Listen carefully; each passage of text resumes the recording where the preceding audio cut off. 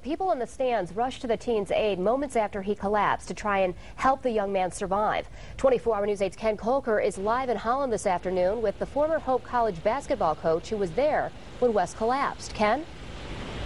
Emily, we spoke just moments ago with Glenn Van Wieren, the longtime former coach here at Hope College, who said that he witnessed the collapse. Now, he was there behind the bench, just a few feet behind the team, and he was there to support not only the team, but his former player, Fennville coach Ryan Klingler, and he wanted to witness some Fennville history with the rest of the town. And then the excitement, the exhilaration of victory, and then this tragedy. Oh, how can be so high? And the next minute, this thing happens. I mean, what we're asked to deal with in life is just, just so difficult. You know? Now, Coach Van Wieren said he actually learned of the death this morning, and now he's there to support the community. I'm live in Holland. Ken Kolker, 24 Hour News 8.